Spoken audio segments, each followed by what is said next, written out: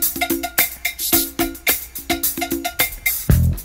Bonsoir, euh, bienvenue sur Plus FM, l'émission Ça en live. Nous sommes ensemble euh, jusqu'à 20h30 avec nous pour parler de musique et surtout pour exécuter en direct des, morceaux en live puisque l'émission s'appelle Ça en live. Eh bien, deux formations.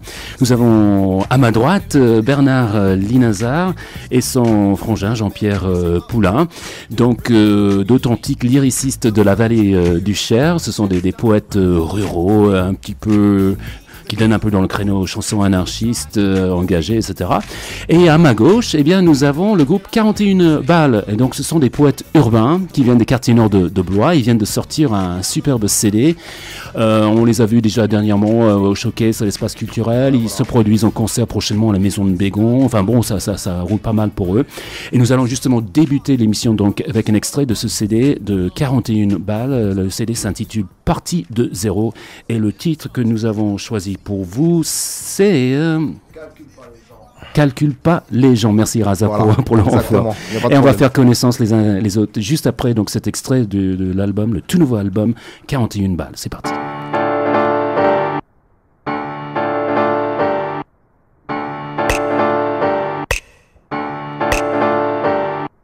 Voilà, le groupe 41 balles, extrait de leur euh, album qui vient de sortir, donc euh, partie de zéro. Et le titre, euh, c'était donc Calcule pas les gens. Alors nous allons faire connaissance et surtout entendre le groupe 41 balles en deuxième partie de l'émission à partir de 20h. Mais tout de suite, nos premiers invités, donc Bernard Linazar et Jean-Pierre Poulain. Comme je vous disais, bah, ils sont basés dans, la vallée du Cher, du côté de, de Montou. Montou-sur-Cher, oui, pour moi, Bernard Linazar. Salut Bernard. Et Jean-Pierre, euh, donc ton, ton frère. Mon frère, oui. Et Jean-Pierre, tu étais basé où pareil? Château-Renaud. Château-Renaud. Ah oui, tu es venu un, peu plus loin. Mon frère, 200. 200, voilà, ok. Et vous avez pas euh, l'oubli changé de nom, euh, chacun non, non, c'est enfin bon. Oui, moi c'est euh, un nom de scène, l'artiste, voilà. Ok, c'était ton nom de scène. Ok, très bien. Et donc en fait l'occasion de, de, vous inviter tous les deux en studio, c'était en fait la, la sortie de, de, de l'album cette année qui s'intitule Réaction en chaîne, c'est ça? Oui, voilà. Et donc, vous avez tous les deux un, spectacle bah, Là, c'est toutes mes chansons que j'ai mis sur un album. Et puis maintenant, bon, ben, je prends les musiciens euh, au fur et à mesure des besoins, on va dire, parce que au début j'étais tout seul. Et là maintenant, euh, on est deux. Et enfin, Jean-Pierre a fait toutes les guitares électriques, quand même sur le CD. Et euh, la vidéo aussi. Il participe à la vidéo qui est sur le CD. D'accord. Et qu'on trouve sur YouTube aussi. Sur YouTube ah, oui. faut taper Linazar. Linazar, tout, tout Linazar sur YouTube. Et puis euh, on tombe sur la vidéo. Euh, et alors là, euh, on passe un bon moment parce que c'est humoristique. Mais on parle de choses très graves quand même, qui concernent la vie de tous les jours. alors quoi par exemple? De quoi vous parlez ben, Ce qui intéresse tout le monde, c'est l'argent. alors on parle d'argent. Et... Ben, on peut peut-être le faire là. Oui, bah oui, volontiers. Ah oui, bon, bah, à ce moment-là. Donc on, la on va faire la vidéo sans, euh, sans, les, images. Sans, les images, puisque nous sommes à la radio sur Plus FM. Ça part en live, donc avec Bernard euh, Linazar et Jean-Pierre Poulain qui s'apprêtent à interpréter. Non, non, non. Non, non, non.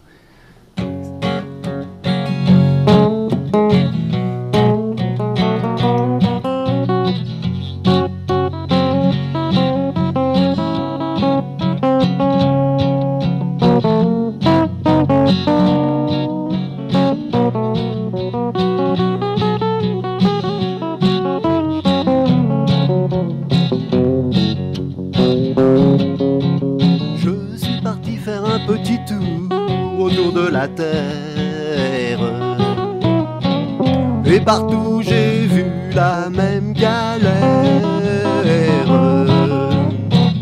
Le même système monétaire qui nous enchaîne. Mais quand allons-nous enfin couper ces chaînes?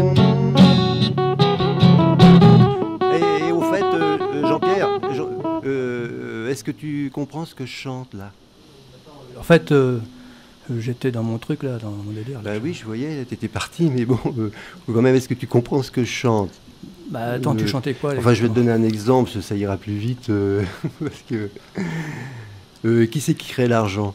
Bah, alors là, je sais pas moi, enfin, je, je me suis jamais posé la question. Oui, bon, bah, si tu es obligé de te poser la question, qu'est-ce que tu réponds là, ça? Bon, bah, alors là, euh, je sais pas moi. Bah, on va dire, euh, je sais pas qui c'est qui crée l'argent. Bah, le gouvernement, par exemple, ça paraît logique. euh. Ah oui, oui, c'est ce que tout le monde pense. Oui, c'est le gouvernement. Bah ouais, Mais ouais. si c'était le gouvernement, euh, il n'y aurait pas de dette publique parce qu'il ne se payerait pas un intérêt à lui-même. Ah ouais, faudrait être con, ouais. Ben oui. Ben, une deuxième question, là, celle-là, elle est plus facile, elle est simple, celle-là. Euh, quand tu as besoin d'un gros truc, tu es obligé de faire un emprunt, tu vas à la banque, tu vas faire ton emprunt. Ben là, l'argent, il vient d'où? Ah oui, bon, moi là, c'est. Ouais, là, bah, c'est facile, là, ouais. C'est les gens, ils travaillent, donc euh, ils ont la paye sur, la banque, là. On, euh, et après, moi, je viens, puis on me donne l'argent de- des autres. Ah. Euh, voilà, c'est comme ça. Ouais, c'est ce qu'on croit. Mais Bah. ça se passe pas du tout comme ça. Ah bon Ça se passe comment, alors? Eh ben, l'employé de banque à qui tu as affaire, pour faire ton crédit, euh, ben, lui, euh, il crée l'argent de toutes pièces. Bon, Enfin, de toutes pièces, euh, c'est plus de toutes pièces, puisque maintenant, euh, avec les ordinateurs, il tape les chiffres. Toc, les chiffres s'inscrivent, et ça se met sur ton compte, et puis euh, voilà, c'est fait. oui, c'est pas plus compliqué que ça. Attends, mais- ouais, non, mais- Attends, mais c'est pas possible, ça. enfin. Ben, ben, ça se passe comme ça. hein. Attends, mais tu me dis ça, mais il faut des preuves, là. On peut pas. Se Ah rendent bah. pas compte, là, de Ah bah oui, euh, on peut pas dire des choses comme ça euh, sans avoir des preuves. Mais regarde des preuves, là, regarde, tiens, regarde tout ça, là. Tous les livres, là, j'en ai combien, là? Les preuves, j'ai même le, le- le livre de la Banque de France officiel, Oh, bah, merde. où c'est marqué euh, noir sur blanc que ça se passe comme ça, quoi. Ah ouais? Ben eh oui. Ouais, mais. Et si moi je tape sur internet, et... parce que les bouquins. Ah ouais, bah, ah bah si toi, t'as un ad d'internet, c'est facile, euh, création monétaire sur internet, euh, oh. oui, euh, Enfin bon, voilà. Euh, bon, je suis- on va dire que je suis sceptique parce que de toute façon, moi, je vais vérifier. hein. De toute façon, en tout cas, je peux Oui. te dire un truc, c'est que si ce que tu dis c'est vrai, et ben là, moi, ça va pas se passer comme ça. hein. Moi, je fais un scandale. Là, je vais aller voir les, les associations, les partis politiques, les syndicats, tout ça. Enfin, Ah bon Ah bah euh, ouais. Toi, ça te fait pas peur, toi Bah, euh attends, mais peur de quoi là? Bah, tu sais, tu touches à la finance, là, et les, les financiers font des tas d'études. Toi, tu dis ça comme ça hein Bah ouais, mais il n'y a pas besoin d'avoir fait des études pour se révolter. Je sais pas pour. euh, crois, toi? Ah bah, moi, moi, je crois pas, parce que moi, j'ai pas fait beaucoup d'études, et puis je me révolte. Dès que j'ai appris ça, j'ai dit, bon sang, c'est pas possible. Ah, puis le gouvernement, il s'endette euh, auprès des banquiers comme ça, euh, il paye les intérêts, et après, on a même le culot de nous dire que euh, les, Enfin, tous attends. nos impôts, ça suffit pas. Enfin, attends, si c'est si c'est vrai, hein, je vais pas encore vérifier. bah oui, mais- oui, mais bon. Bon, je vais taper ce que tu dis sur internet. Ouais. Et bon, bah, tu fais comme tu veux. hein. Ouais. Non, non, non, non, non, non, non, non, dans ce monde-là. Non, non, non, non, non, Non, non, non, non, non, non, non,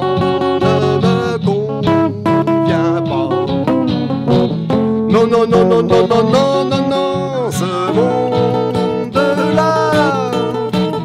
ne me convient pas et c'est bien normal. Non, non, non, non, non, non, non, non, non, non.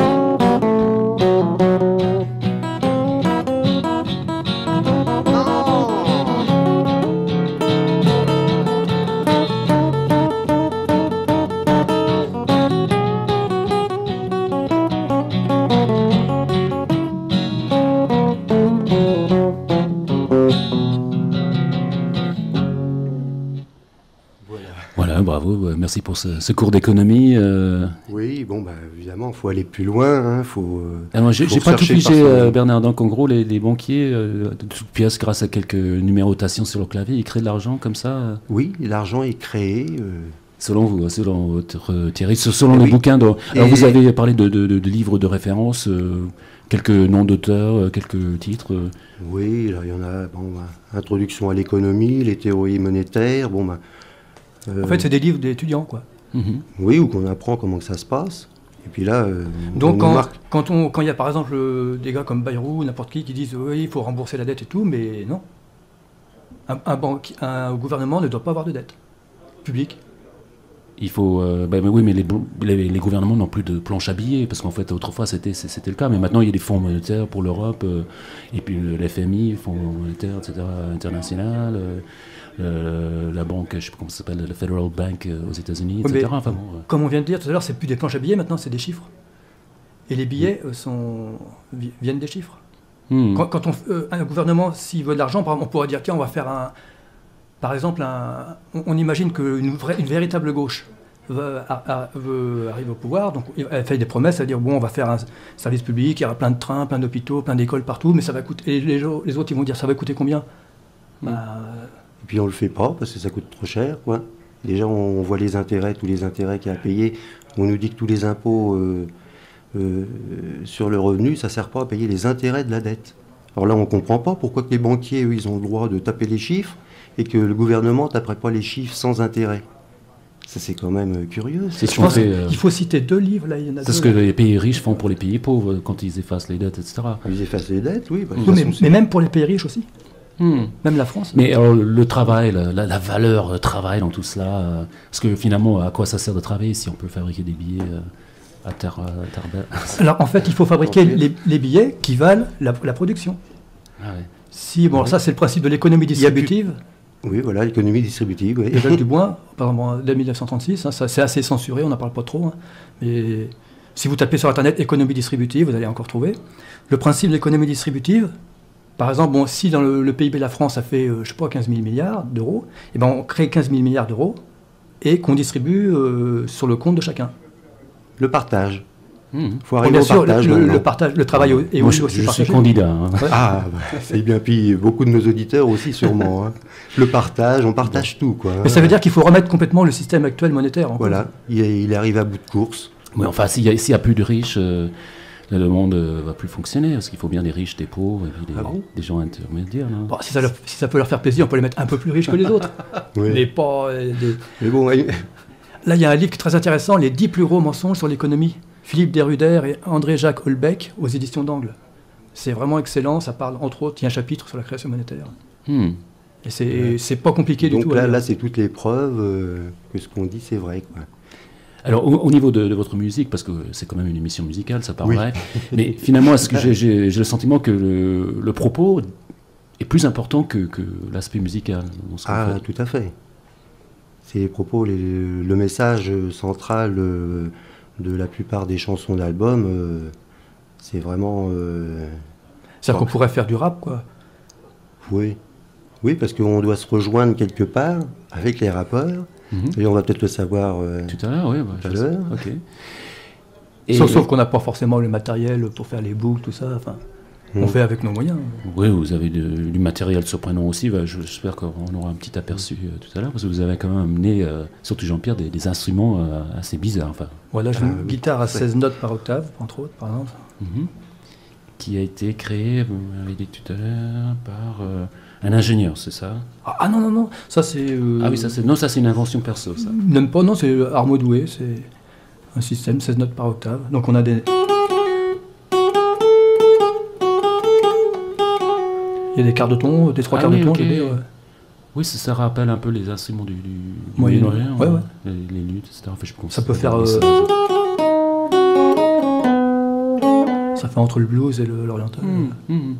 Très bien. Et pourquoi euh, avoir choisi cette gamme-là Bah, euh, pourquoi pas, parce qu'on nous impose toujours 12 notes, 12 notes par octave, et ben moi je vais en faire 16 ou 15 ou 13, Ouais. j'ai plein de guitares comme ça. Ouais, oui, on sort un peu de l'ordinaire euh, dans la famille, euh, apparemment. Ouais, bah, c'est bien. il faut- Oui, on est original, quoi. Quelque part. Nous avons deux originaux ensemble, deux frères en plus. Ça tombe bien. Alors, vous nous faites quoi comme morceau euh, ensuite euh, Donc, euh, alors après, là, c'est, on va parler du nucléaire. Là, c'est un petit peu plus sérieux, on va dire. Donc, il faut que j'aille D'accord, mettre. mettre euh, la bande son. On va faire sur la bande son, là. Et donc, c'est grâce à l'électricité nucléaire que, Oui. que cette bande son Oui. va, va fonctionner. Oui, mais je me bats pour euh, qu'il y ait des éoliennes partout et Il cherche. Ah oui, bah oui, il cherche. Mais déjà, il faut commencer. Mais non, mais dis-lui, réponds-lui que c'est avec l'éolienne, ça marche. Oui, je pourrais le recharger sur éolienne. Quoi. Bon, je vais souffler très très fort pour faire tourner l'éolienne, pour pas justement euh, être esclave de- du nucléaire.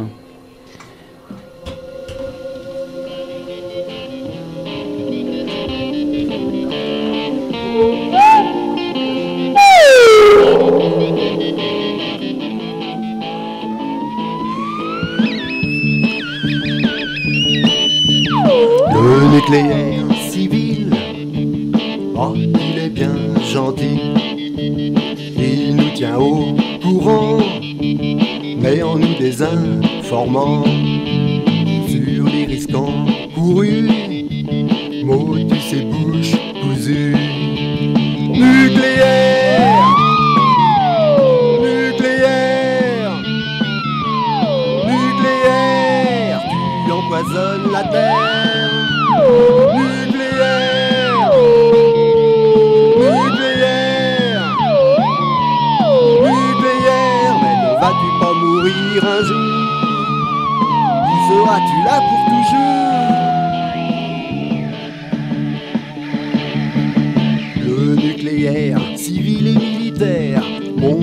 belle affaire. Sorti tout droit des fins fonds de l'enfer, maintenant les démons peuvent faire la fête. Quelques petites bombes, incident nucléaire, et adieu la vie sur ta planète. Nucléaire!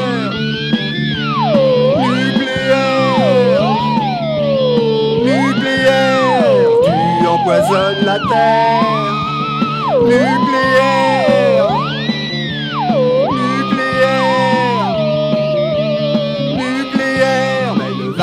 mourir un jour Ou seras-tu là pour toujours?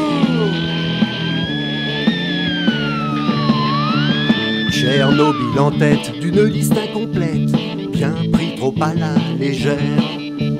Radioactivité mêlée à la cupidité, et c'en est bien assez.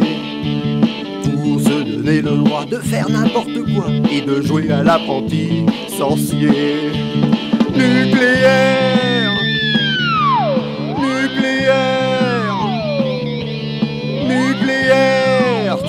Tu empoisonnes la terre. Nucléaire.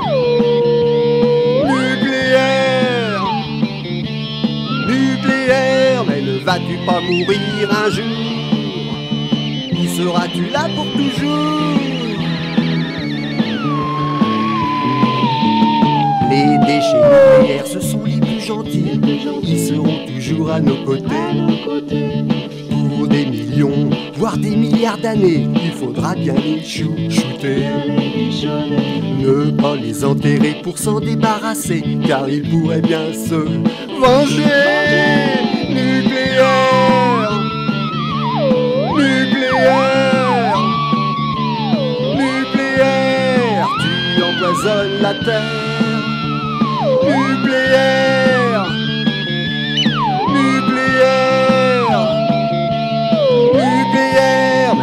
vas-tu pas mourir un jour. Ou seras-tu là pour toujours? Les solutions alternatives ne peuvent en aucun cas nous nuire. Étant sortis tout droit du paradis Le choix n'est vraiment pas difficile. Et je dirais même facile. Si ça c'est pas une preuve que d'où viennent tous nos dirigeants, les faits parlent d'eux-mêmes. C'est pas bien compliqué de pouvoir tous les juger, ce ne sont vraiment pas des anges. Pour se permettre la plus grande des folies, le risque d'anéantir la vie nucléaire. Nucléaire. Nucléaire. Tu empoisonnes la terre.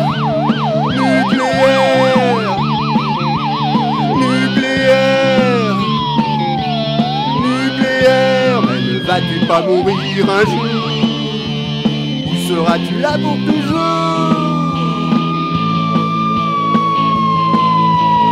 Attention au nucléaire. Attention au nucléaire. Attention au nucléaire. Attention. Attention. Attention.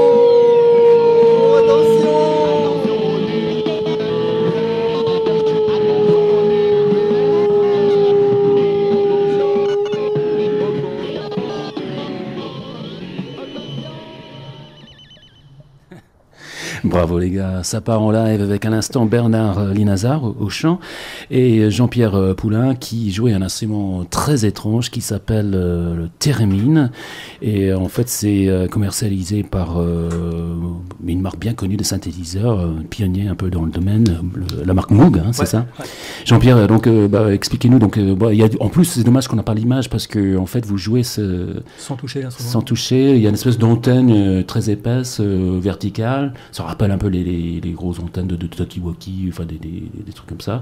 Et vous vous approchez votre main euh, selon la distance de la main et selon le, le balancement. En fait, ça, ça, donne des notes ou des, des sons un peu, un peu ça, plus ou moins aigus, etc. Quoi, ça et ça fonctionne comment eh ben, j'en sais trop Et l'origine de cet instrument euh, il y a une antenne, plus on se rapproche, plus c'est aigu, l'autre, plus on se rapproche, moins c'est Une espèce de champ électromagnétique, peut-être, euh, qui, qui, retranscrit comme ça, euh, grâce à des décomposants en, son, quoi, c'est ça ça, ça, rappelle un peu les, les ondes Martenot, un peu. Ah, c'est le même son Sauf que les ondes Martenot, c'est plus facile parce qu'il y a un clavier. Et c'est aussi ancien que les, les ondes Martenot ah, Encore plus, 1917. Ah oui, oui, donc c'est carrément l'ancêtre. Des instruments électroniques, ouais. Wow, fantastique. Et ça se trouve. Euh, il n'y avait pas encore de centrale nucléaire à l'époque. c'est ça. c'est des, gens qui pédalaient euh, un petit peu pour faire l'électricité. Comment est-ce qu'on faisait l'électricité à l'époque d'ailleurs? C'est peut-être euh, des moulins. Ouais. En fait, une centrale nucléaire, on, croit que. Moi, avant, je croyais qu'une centrale nucléaire, c'était. Bah, je sais pas, c'était l'atome qui se désagrégeait. Donc ça faisait de la radioactivité et en même temps l'électricité. Hmm. Et finalement, ben non. Je crois qu'il y a beaucoup de gens qui croient ça. Alors ils croient que c'est une technologie moderne. Non, non, c'est une fusion qui fait chauffer l'eau. Qui... C'est en fait la vapeur de l'eau qui bah fait tourner les C'est une centrale à eau, quoi. Oui, oui, c'est ça. Donc, alors pour faire bouillir de l'eau. C'est une machine à vapeur. Donc c'est Denis Papin qui aurait pu l'inventer. Voilà, c'est la centrale Denis Papin, quoi. Sauf qu'au lieu de faire bouillir l'eau avec du, bois, du charbon, du gaz, n'importe quoi, on fait bouillir ça avec de, l'uranium, quoi. Hmm. C'est comme si pour faire cuire des nouilles, on mettait de l'uranium en dessous. Bah, ça, on pourrait hein, faire des, cuir, des nouilles avec l'uranium, mais après il faudrait confiner ça, faudrait, les déchets, qu'est-ce qu'on en ferait Tout ça, c'est pas économique, c'est complètement aberrant. Alors le grand argument écologique, justement, euh, au Grenelle de, l'environnement, on a entendu ça, c'est que finalement le nucléaire ne gâche pas des CO2, euh, des, gaz toxiques dans l'atmosphère. quoi. Contrairement euh, aux combustions grâce au charbon ou au pétrole, comme ça se fait en Chine. J'ai vu aussi sur, sur YouTube, il y a une, une vidéo, l'arnaque du réchauffement climatique. Que, bah, le, CO2, le CO2 c'est un gaz qui est plus lourd que l'air. Alors comment est-ce qu'il peut faire un effet de serre, par exemple? Ah oui, intéressant. Mais bon, l'air, c'est l'air euh, oxygène ou l'air. Euh, parce qu'en fait, l'air. Ah, l'atmosphère, l'atmosphère. Il faudrait que le CO2 il se balade mm. euh, tout en haut pour mm. faire bouclier, pour faire un effet de serre, quoi. D'accord. Oui, enfin, on voit encore qu'on nous ment sur beaucoup de choses. Ça me rappelle une chanson de Dutron, mais vous, vous êtes persuadé qu'il y a un, complot, quoi, international, politique Oh, ben, Disons que le, mot complot, euh, j'aime pas trop. Ça, c'est très américain, parce que les Américains, sont, enfin, certains, les Américains sont très. Par exemple, l'économie distributive, est-ce que tu en as entendu parler? La quoi? L'économie distributive. Oui, oui, ah oui ce, dont on parlait à l'instant. Et pourtant, c'est vachement intéressant. L'espéranto, parce que moi, je parle couramment, mhm. on n'en parle jamais. Donc. Moi, je préfère le latin. Franchement, je trouve que. Parce qu'en fait, c'est une langue créée de toutes pièces, l'espéranto. Enfin, personnellement, mais ça se discute parce qu'autrefois la, langue internationale c'était enfin en, Occident en tout cas c'était le, latin sauf que là il y a des c'est même euh, et même avant c'était le grec c'est autant on va dire européen au niveau des, mots mm. que asiatique au niveau de la grammaire que le latin c'est pas asiatique chaque pays chaque pays s'y retrouve de toute façon ah oui d'accord euh, on retrouve un peu de chaque pays dans non, mais ce que, ce que, je voulais surtout dire. partage encore. C'est qu'il n'y a, y a, y a, pas. J'ai pas le droit de dire qu'il y a une censure parce que. Tu peux me traduire le nom de l'émission, ça part en live en, espéranto par exemple? Euh, ça, En français, ça veut dire quoi exactement? Ça part en live aussi? Euh, ah, ça, c'est une bonne question, justement. Euh, improvisado, peut-être?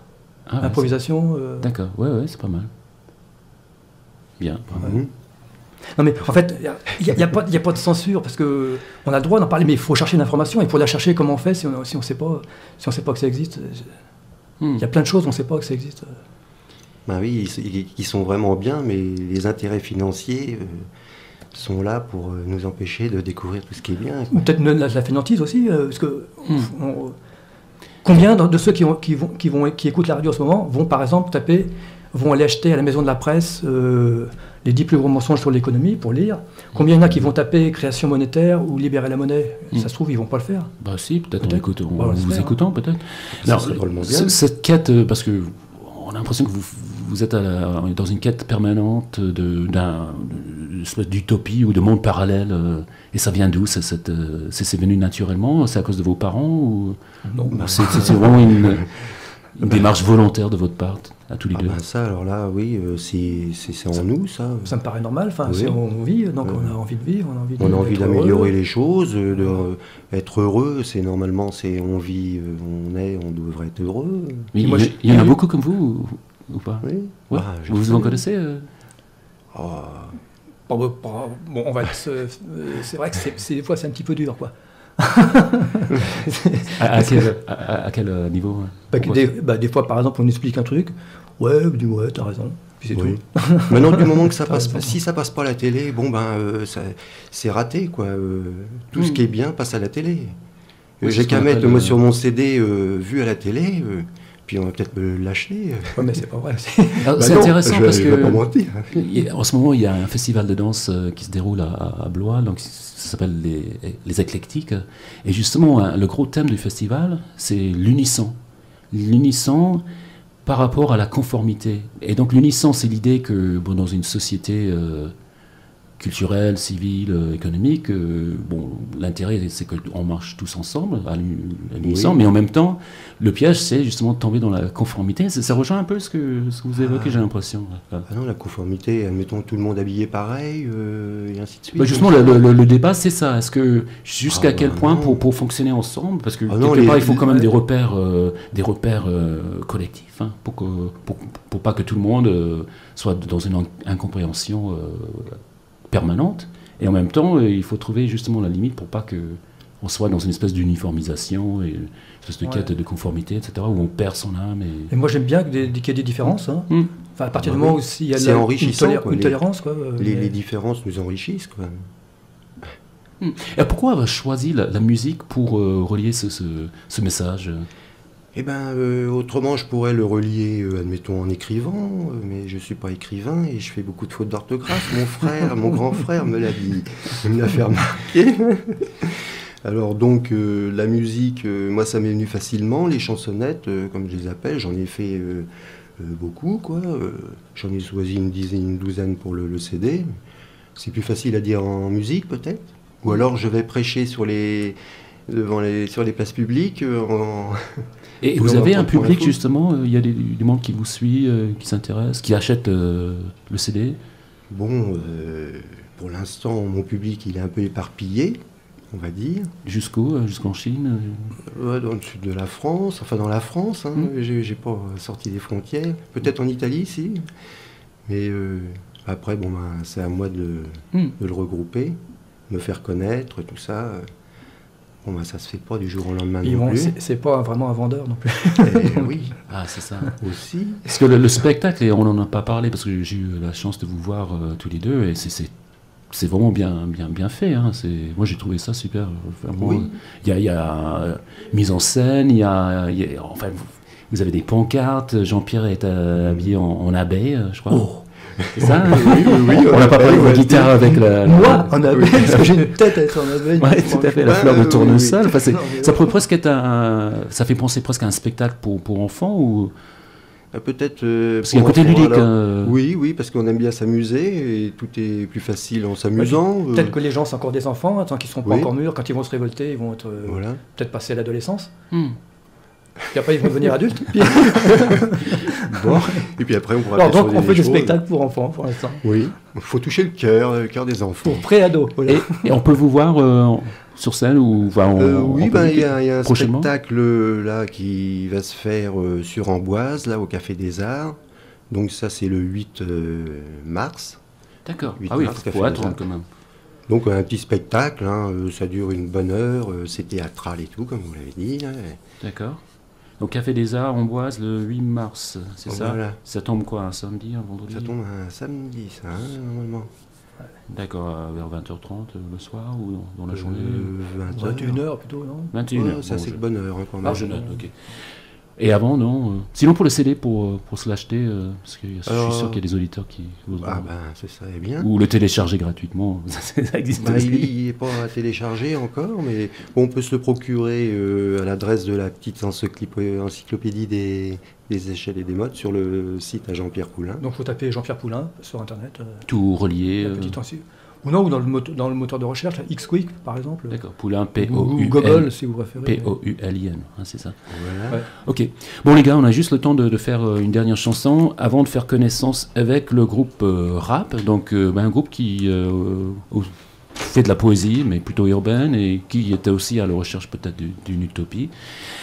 Et donc le dernier titre euh, que vous nous faites, c'est On n'en veut pas, c'est ça? Bon, voilà. Donc, Jean-Pierre est prêt. Un monde où tout le monde serait puce et robotisé. Ce monde-là, moi je dis non. Nos libertés n'ont pas la prison, n'ont pas la prison.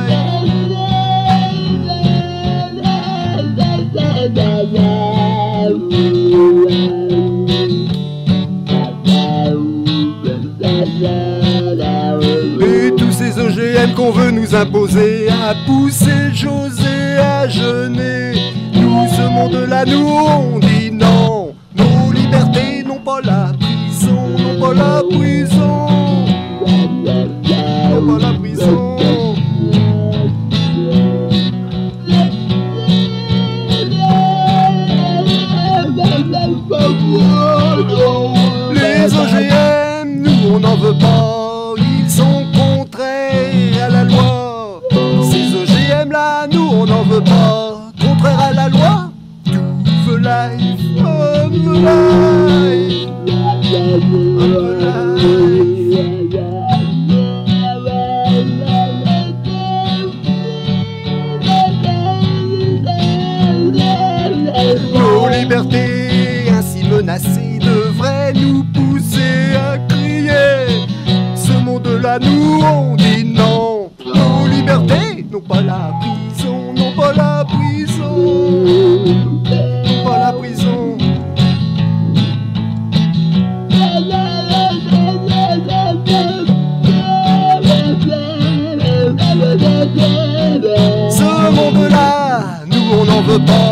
Il est contraire à la loi.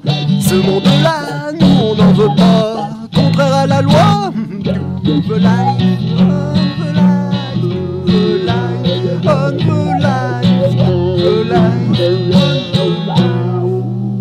Bravo les gars, merci.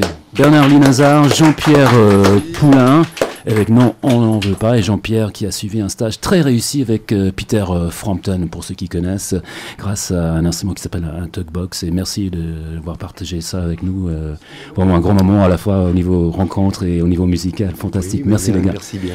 Bonne, bonne continuation et on rappelle donc la, la date du samedi 8 mars au Café des Arts à Amboise pour vous voir Voilà. au concert. Voilà. Alors nous allons On est nombreux. Ok, nous allons faire connaissance donc avec nos poètes urbains après les poètes ruraux. Donc le groupe euh, 41 euh, balles. Salut, donc j'ai plein de monde en, en studio. Il y a notamment, enfin pour euh, les principaux membres du groupe, il y a Raza. Salut Raza. Salut, ça va? Ça va, ça va. va, JR, JR, ça va. JR et Narco qui était euh,